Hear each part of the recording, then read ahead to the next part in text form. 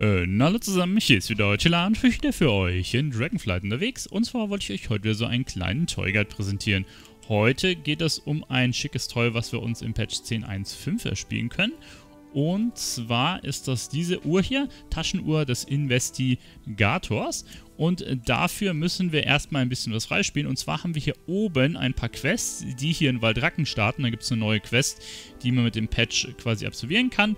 Ist nicht sonderlich lang. Das solltet ihr als erstes gemacht haben, die Quest hier oben. Sonst könnt ihr dementsprechend äh, die weiteren Schritte nicht machen. Gut, also ihr habt jetzt die Quest erledigt. Dann ähm, steigen wir ein.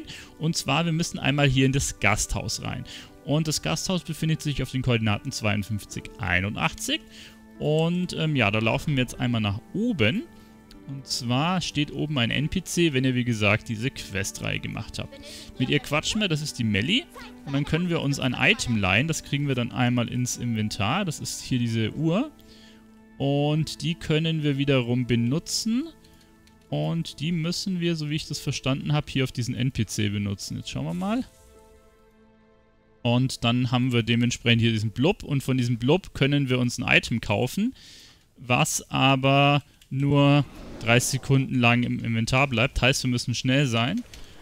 Und dementsprechend müssen wir jetzt hier runter zu dem Wasserfall. Da müssten wir dann was anklicken können. Jetzt schauen wir mal.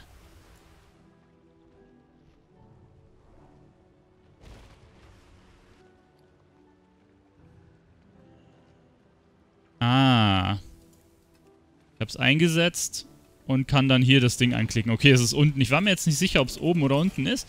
So, damit haben wir jetzt dementsprechend den Kroko gespawnt. Also ich bin jetzt hier runtergeflogen, habe das Ding geklickt. Dann ist diese Uhr hier erschienen.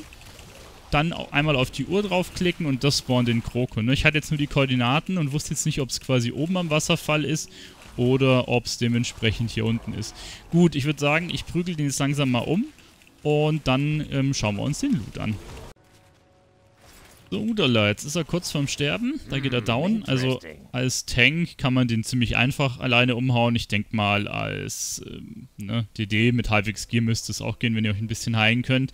Ähm, jetzt looten wir den einmal und ihr seht, da ist direkt das Toy drin. Anscheinend war das jetzt die ersten paar Wochen verbuggt und wurde jetzt von Blizzard gefixt, dass das halt droppt. Ne? Also so wie es aussieht, ein 100% Drop. Nur, er war halt ein bisschen verbuggt gewesen. Genau. Mehr ist es nicht. Äh, mir wurde jetzt gerade im Stream noch gesagt, das Item, was man da kauft, das muss man trinken. Ne? Das hat ja nur 30 Sekunden im Cooldown. Heißt, äh, ich habe das jetzt halt erst getrunken, als ich hier war und konnte dann die Uhr anklicken. Ne? Also es war ein bisschen knapp. Wahrscheinlich könnt ihr das auch schon einen Ticken vorher trinken. Gut, dann ähm, würde ich sagen, schauen wir uns das Toy einmal an.